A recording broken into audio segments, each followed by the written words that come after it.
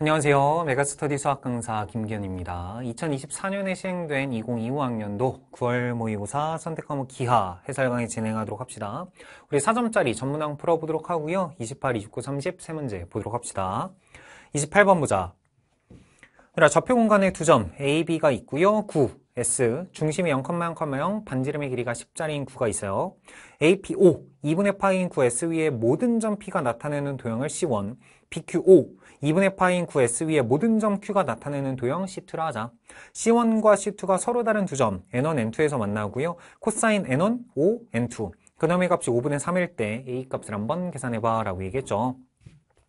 일단 해라 나한테 9 중심이 0,0,0 반지름의 길이가 10짜리인 9가 하나 주어졌고요 일단 A라는 점 하나 주어졌고요 A는 0, A,0,0이라고 줬어요 그래서 여기가 A,0,0이다 그때 해라 여기 A라는 점과 여기 원점 5에 대해서 얘들아 9 위의 점 P를 잡을 건데 AP5가 뭐였으면 좋겠다 2분의 파이였으면 좋겠다라고 준 거지. 그럼 일단 첫 번째 생각이다. 그러니까 각 A, P, O. 그러니까 얘가 2분의 파이가 되게 하는 점피의 자취가 뭐야? 라는 걸 생각해봐. 그러면 일단 얘들아 5라는 점, A라는 점 고정된 점인데 5라는 점, A라는 점 고정된 상태에서 P라는 놈을 잡았을 때 직각이라고. 그럼 얘들아 얘가 평면이라면 여기는 점피는 원위의 점이다 라고 생각해도 괜찮지 얘를 지름으로 하는 원위의 점피가 있다 그런데 두 번째 지금 공간이란 말이야 그럼 공간에서는 여기는 OA를 지름으로 하는 구위의 점이다 라고 생각해도 괜찮지 그러니까 P 어디 위의 점이야 생각하면 얘를 지름으로 하는 구를 하나 그리도록 할 거야 그 구 위에 누가 존재할까? 점피가 존재할 거야 그런데 두 번째 그러니까 그 점피는 이놈을 지름으로 하는 작은 구 위의 점이기도 하면서 동시에 이 큰 구 위의 점이기도 하잖아요. 그러니까 나한테 작은 구, 큰 구, 얘들아 이놈과 이놈의 동시에 만족하는 교점 한번 관찰해봐 라는 건 이놈과 이놈의 동시에 만족하는 부분은 여기는 교선 이 정도의 원위의 점이 존재한다 라고 생각하시면 되는 거야 그러니까 점피는 이 구위의 점이자 이 구위의 점이다 그러면 결과적으로 여기 만나는 이 교선 이놈이에 전피가 존재하겠다라고 생각하시면 되는 거라고. 알았지? 그래서 일단은 이 전피가 나타내는 도형은 아마도 원이 될 거야 라고 생각하시면 될 것 같고요. 내가 알고자 하는 문제에서 그 C1이라고 했지. 전피가 나타내는 도형 C1은요. 원이 되도록 할 겁니다. 쌤, 어떤 원이죠? 라는 걸 잠깐 고민하자면 쌤, 제가 이 9와 9가 만나서 생기는 교선이 원이다 라는 게 조금 헷갈려요 라고 만약에 생각이 든다면 두 번째 이렇게 고민하셔도 괜찮아. 그럼 OA를 기준으로 해서요. 내가 여기 X축, Y축, Z축이라고 잡았을 때 그래 점 P 어딘가 있나 봐. 그런데 APO가 뭐였으면 좋겠다? 수직이었으면 좋겠다. 그럼 수직이 되게 하는 점들이 여러 가지 있을 건데 그놈을 내가 조금 더 제대로 관찰하기 위해서 얘들아 여기는 Y축이 점처럼 보이도록 이 과정에서 이 그림 한 번만 관찰해봐. 그럼 X축, Z축만 보이도록요. 쌤이 그림 한번 살짝 이렇게 그려볼게.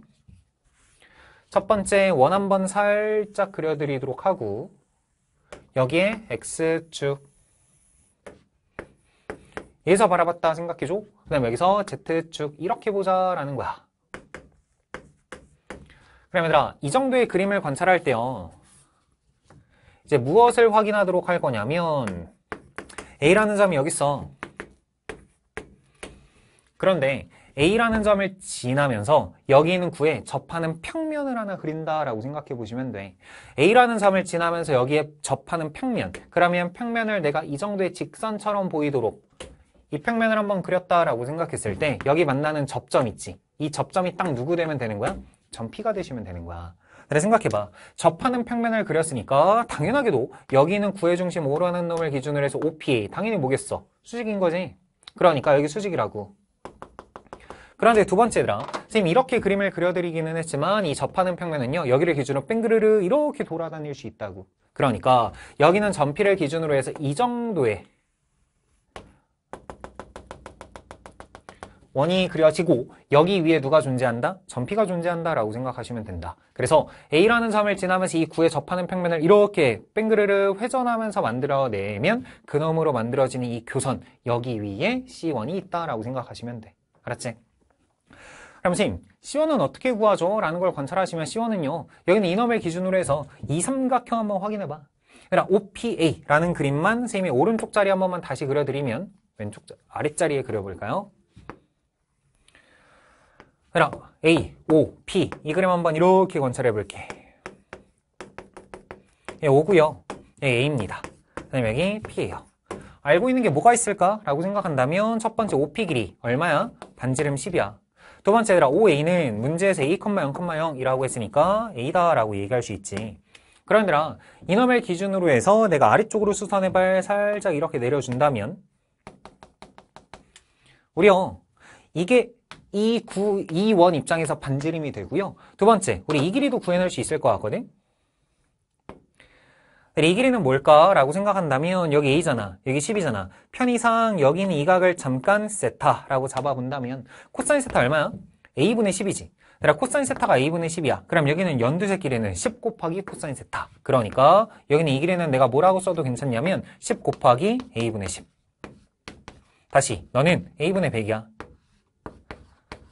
선생님 이거 왜 구하고 있는 거죠? 라고 생각한다면 얘들아 여기서 연두색 길이는요 여기서 이렇게 수선의 발을 딱 내렸을 때 이 길이야.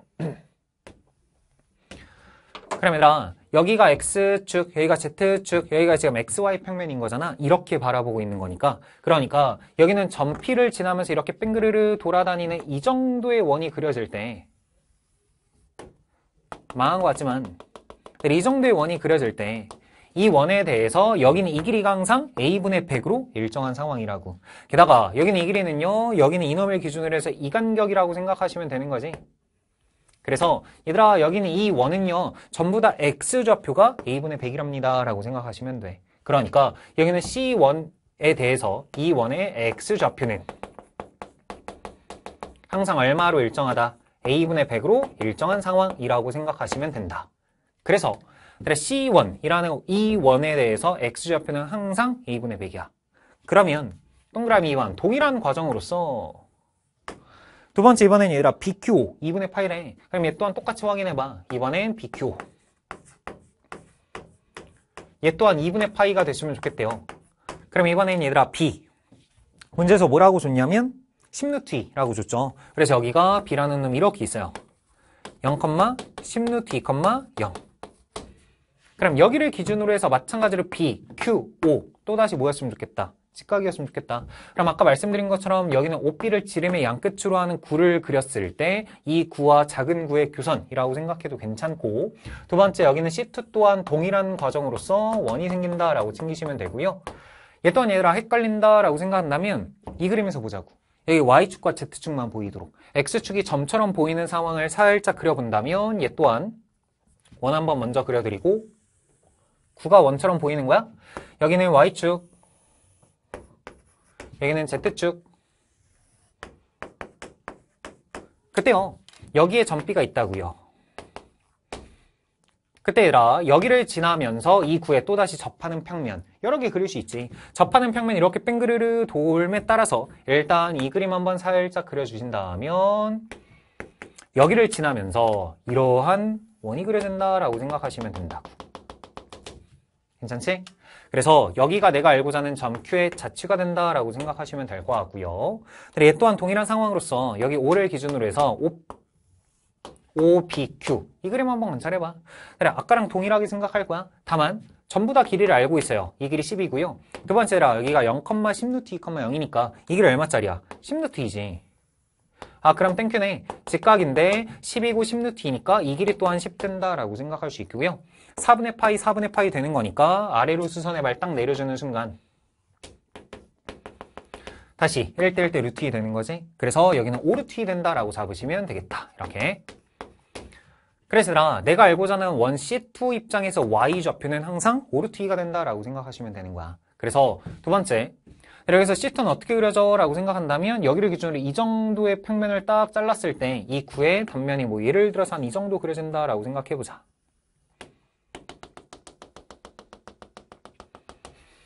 그래서 이 길이가 얼마 되게? 5루트 2 되게. 이 길이가 5루트 2가 되면서 이 구를 잘랐다라고 생각하시면 돼. 알았지? 그러니까 수박에 해당하는 단면을 얘들아 이 수박을 여기 점을 지나면서 이렇게 단면 하나 자르면 원 하나 생기잖아. 그리고 이 점을 지나면서 이렇게 수직이 되게 자르면 여기도 원 하나 생기잖아. 그치? 그래서 이 원과 이 원, 얘가 점 P가 자, 지나는 자취 C1이 되고요. 여기가 점 Q가 지나는 자취 C2가 된다라고 생각하시면 돼. 알았지? 그래서 두 번째 너는요. Y 좌표가 얼마짜리다? 5루트 2짜리다.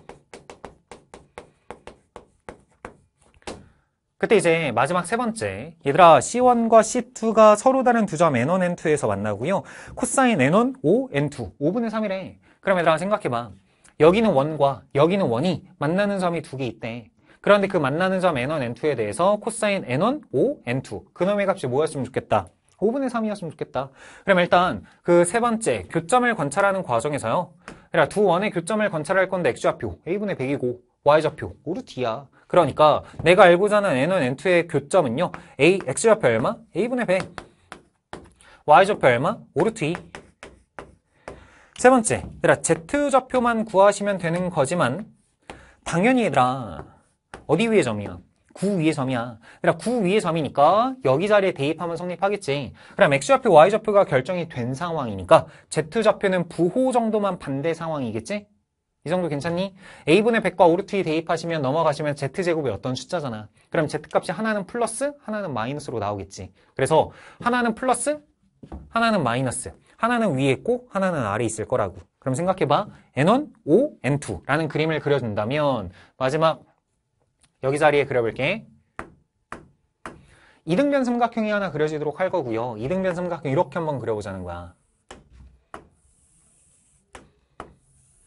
얘가 5야. 그때 N1 이렇게 잡아준다면 N2 이렇게 잡아주시면 된다고요.